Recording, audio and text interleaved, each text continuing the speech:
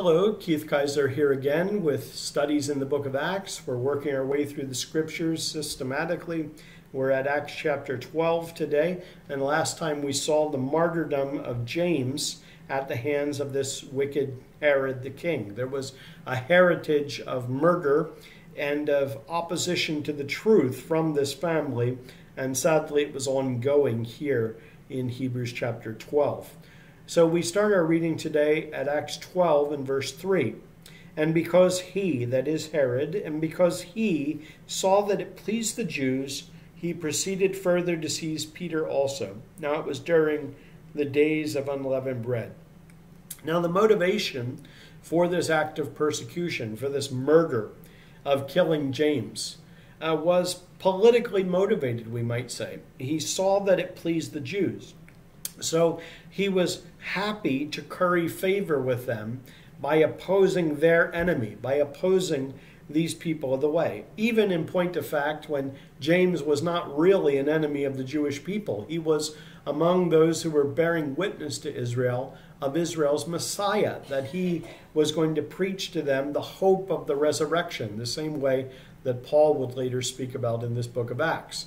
And James was a witness to the risen Christ in preaching the good news that Jews and Gentiles could be saved through the Lord Jesus Christ. As Romans 1:16 reminds us, Paul says, Therefore I am not ashamed of the gospel of Christ, for it is the power of God unto salvation to the Jew first, and also to the Greek, or we could translate it to the Gentile.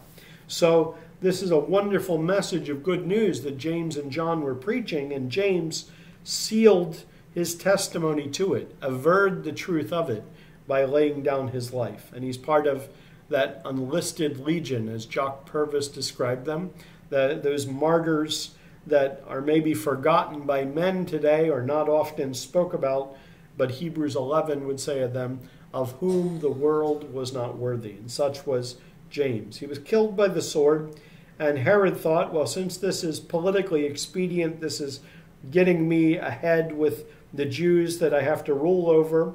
And then he proceeded further, it says, to seize Peter also. And as we noted last time, these were the days of the unleavened bread, uh, the very same time in the festal calendar of Passover, first fruits, and unleavened bread, unleavened bread and first fruits, if I put them in the right order. And that time of year in the springtime on our calendar was the same time of year when the Lord Jesus was crucified. So maybe uh, the Christians could look at this, the believers would look at this and say, oh no, here we go again. This is history repeating. Once again, our enemies are killing us. It's open season on Christians. So when he had arrested him, verse 4, he put him in prison and delivered him to four squads of soldiers to keep him, intending to bring him before the people after Passover. So he's put in prison. Uh, we would call this maximum security. He's got four squads of soldiers there as if he's some super dangerous criminal. This is a tremendously violent serial killer or a very cunning and nasty terrorist. And yet, Peter's nothing of the kind. Peter is not harming anybody and he's not violent towards anyone. He's a witness of the risen Christ and a minister of the gospel. And so, verse 5 Peter was therefore kept in prison, but constant prayer was offered to God for him by the church. Isn't that wonderful? A believer may be physically separated from other believers. We may not be able to go out to the local church. We may be on a bed of sickness and not able to get out to the meetings, and yet the church can still pray for us. They can still have their influence on us, spiritually speaking, where we are. And what resources we have, the theology behind this verse, that we have a throne of grace, that we have the Lord on that throne who is listening to us. That as first uh, First John 5 reminds us that if we ask anything in his name, we know that we have the petitions that we've desired of him. In other words, he hears our prayer and will unfailingly answer it. Maybe not answer it according to just the way we've asked, but he will answer it to whatever is according to his will, which I assure you is best because he knows what the best is in any given situation. And how lovely to read that constant prayer was offered. You know, these people weren't forgetting about Peter. It wasn't out of sight, out of mind. They were diligently and regularly praying for him. And no doubt the urgency was borne out by the fact that James had so recently been killed. And they thought, ah, what if another one of the twelve is killed? What if Peter is killed? You know, James was killed by the sword here, and Herod thought he was exerting great political power. But we remember Peter himself asked the Lord Jesus in Matthew 19, Behold, we've left everything to follow you. What will we have? And the Lord said that in the regeneration, when the world was made over for the millennial kingdom, the thousand year reign of Christ, that the 12 would sit with him and judge Israel on 12 thrones. So he would be part of the administration governing the world under the King of Kings and Lord of Lords, the Lord Jesus, who after his second coming to earth is going to sit on the throne of David and rule over Israel. And James was not going to be deprived of that.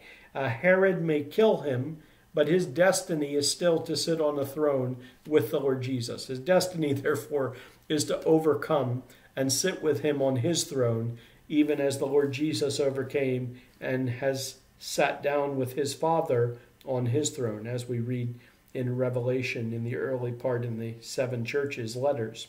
But that's another sermon. Anyway, back to Peter. Here's Peter in prison. And we might say, well, what can the believers do for him? Are they going to mount an assault on the prison? Are they going to sneak in, climb over the wall, and take on those four squads of soldiers? No, they're going to do something much more powerful.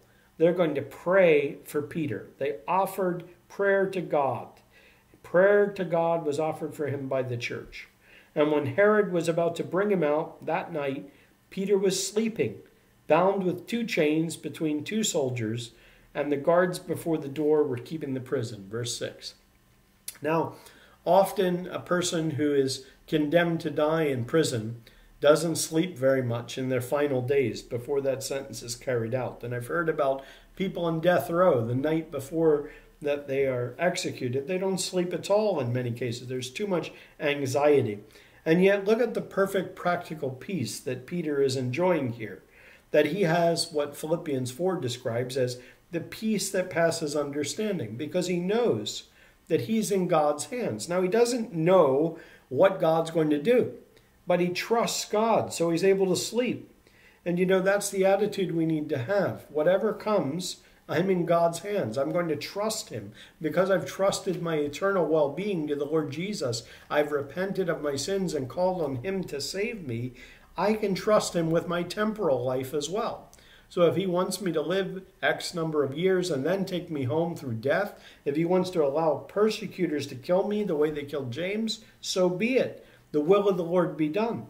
But if he wants me to live on, nothing the enemies can do can rob him of that desire and purpose for me. He will carry it forward. And Peter had that confidence, that faith in God. And so the guards before the door were keeping the prison. So again, maximum security. We're talking about Alcatraz or the Supermax in Colorado, or uh, you know, pick your your toughest prisons. Here, all the guards are there, all the security measures are in place, and yet God's going to intervene. Verse seven. Now behold, an angel of the Lord stood by him, and a light shone in the prison. And he struck Peter on the side and raised him up, saying, Arise quickly and his, and his chains fell off his hands. Now it doesn't say the angel of the Lord, it says an angel of the Lord. So I take it this was a regular type of angel that God had sent. It's the Lord's angel whom he sends, not the angel of the Lord, which was so often in the Old Testament a Christophany, a pre incarnate appearance of the Lord Jesus. But nonetheless, this angel is acting in the authority and in the power of God. And he comes and in that dark prison a light shone. Now, many of our brothers and sisters know about this right now in the world. There are believers in different parts of the world that are in prison for the faith. And yet the light shines in that dark prison because they can put them in squalid cells, they can put them in a virtual dungeon, they can put them in solitary confinement, and yet what they can't do is rob them of the presence of the Lord Jesus Christ. I'm not saying it doesn't hurt. I'm not saying they're not suffering hunger and great privation. And we read from time to time on things like Voices of the Martyrs about some that are hungry and some that are greatly ill. And yet, even in the most difficult times physically, the Lord's light can shine upon a believer. And that's the wonderful thing that we walk in the light with him. First John 1 tells us. So even in a prison, the Lord is there. And it's a wonderful thing. And many times we read not only in the Bible, such as in Acts 16, when Paul and Silas are there in the prison in Philippi, but we read throughout church history about different believers, men and women, who've been in prison for the faith, and yet they rejoice in God, they worship, they sing to the Lord in some cases. In many cases, they win others to the Lord. Now the angel comes, and he raised him up, saying, Arise quickly. And his chains fell off his hands. I wonder if this is where Wesley got the image in his great hymn, And Can It Be? One of my favorite verses of any hymn in the English language. Um, he says that, Long my imprisoned spirit lay, fast bound in sin and nature's night. Thine eye diffused a quickening ray. I woke, the dungeon flamed with light. My chains fell off, my heart was free. I rose, went forth, and followed thee. Now, Wesley was describing his experience of coming out of darkness into light, of passing from death unto life, of going from one dead in trespass and sins to one quickened, made alive in Christ Jesus, regenerated by his grace, born again through faith in the Lord Jesus Christ and his word and coming into that knowledge of salvation, that personal knowledge of the Lord, he would write that beautiful fourth stanza of his hymn. And yet the imagery is very like what's described of Peter here about this angel coming and shining the light and telling him to get up and his chains falling off his hands. You know, this was better than Houdini or David Blaine or somebody like that. I mean, Peter didn't have to do any sort of escape artistry the power of God through this angel, this messenger, did that. Verse 8. Then the angel said to him, Gird yourself and tie on your sandals. And so he did. And he put and he said to him, Put on your garment and follow me. Now notice these hallmarks of historicity.